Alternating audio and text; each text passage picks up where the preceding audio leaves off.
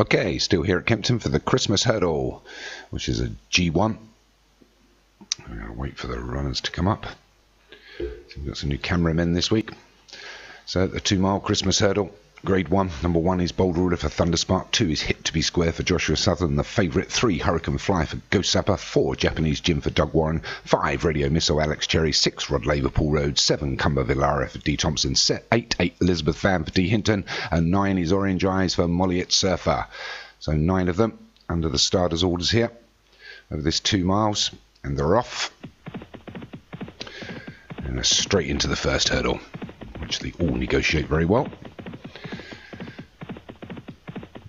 Going to see who's going to take them along. There's Elizabeth Van for Del Hinton. That sprints off to the front, takes the second, and has uh, got himself a four length advantage as they go past the grandstand here with a circuit to go. Here at Kempton, we've got obviously tomorrow we've got the King George VI Chase, which is the big race here tomorrow. Good luck in that, everyone. But it's Elizabeth Van here that leads us over this two miles by about five lengths to Bold Ruler in second. We've got Hurricane Fly, Japanese Gin and Rod Laver between those two, and a couple of links back to Orange Eyes, and Cumber Valara, Hip to be Square, and Radio Missile.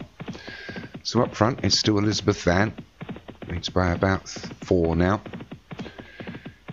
Lost Radio Missile out of picture, but I think he's still there as they take the third, and everybody's over that. So it's still Elizabeth Van, stealing a bit of a march here. It's only two miles. Rest of the jockeys all want to uh, shorten this gap. Although Elizabeth Van steadied himself going into the fourth, but still has a four length advantage over Bold Ruler in second, Rod Laver in third, and then the remainder, which is Hurricane Fly, Orange Eyes, Japanese Gin, Cumbervlar, and Hip to be Square. A couple of lengths behind those, I can't see Radio Missile at the moment. But it's Elizabeth Van that still leads them. Got over a mile left to travel. There's only four flights to take, but it's Elizabeth Van by four lengths to Rod Laver now in second on his own. The rest of the pack are starting to bunch up behind, and Elizabeth Van's advantage is starting to be shortened. So it's Elizabeth Van by three to Rod Laver in second. Takes the fifth.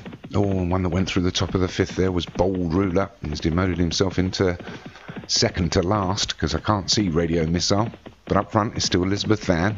Here comes Hurricane Fly to challenge. Rod Laver against the fence. Couple out wide Orange Eyes and Japanese Gin. Then we've got Hip to be Square on the inside of that with Cumber Valara and Bold Ruler. They take the six.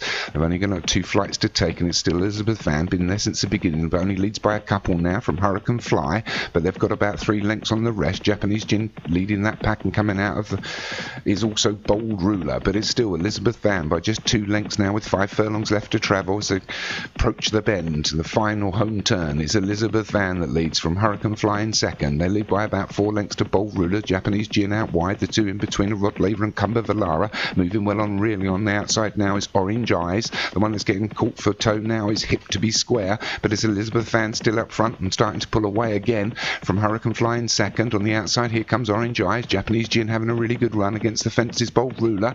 My, and he's got nowhere to go, Bold Ruler, but it's still Elizabeth Van. But here comes Orange Eyes to challenge inside two and a half furlongs. Elizabeth Van, Orange Eyes, these two neck and neck, and it's going to be Orange Eyes It's going to lead them into the seventh. Gets over it well, but here on the outside comes Cumber Villara, so it's Orange Eyes, Cumber Villara, Bold Ruler. Further wider is Hurricane Fly, making up some good ground now. Is Hip to be Square with a furlong left to go. They get over the final flight, and it's Orange Eyes that leads, but here comes Bold Ruler to challenge with Cumber Villara. Orange Eyes leading for Molliet Surfer inside the last hundred yards. It looks like Orange Eyes is going to take the Christmas hurdle, wins it from Bold Ruler in second, Cumber Villara in third.